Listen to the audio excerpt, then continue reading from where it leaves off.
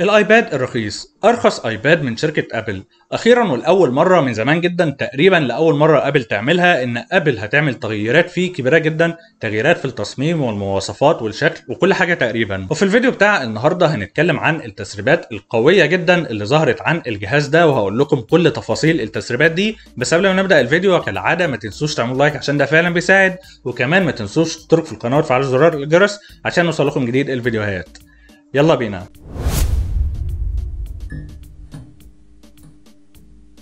كنا اتكلمنا في فيديو قبل كده عملناه عن الآيباد ده إن ابل هتستبدل مدخل ال Lightning port وهتستبدله بمدخل USB-C من النوع الجديد ودي هتكون لأول مرة على الآيباد الرخيص عشان ابل توحد مداخل الآيبادات كلها. وناس كتير استغربت الموضوع ده لأن مدخل ال Lightning port هو نفس المدخل اللي بتشحن منه ال Apple Pencil الجيل الأول وال Apple Pencil الجيل الأول ده هو ال Apple Pencil الوحيد اللي بيدعمه الآيباد الرخيص. فبالتالي مش هتقدر تشحن ال Apple Pencil الجيل الأول ده من مدخل ال USB-C ولكن دلوقتي بقى ظهرت تسريبات جديدة بتقول إن ابل ناوية تغير تصميم الآيباد الرخيص ده بشكل كامل. الآيباد الرخيص ده هيجي ب frame مسطح نفس الموجود في الآيباد برو ونفس الموجود في الآيباد إير وطبعا الآيباد ميني. وبالتالي الآيباد الرخيص ده هيقدر يدعم ال Apple Pencil الجيل الثاني ودي حاجة هتكون ممتازة جدا. وكمان هيدعم ال keyboardات الجديدة بتاعه ابل بمداخلها الجديدة. ولكن بالرغم من التصميم الجديد ده ولكن ابل هتحتفظ بزرار ال home button الموجود فيه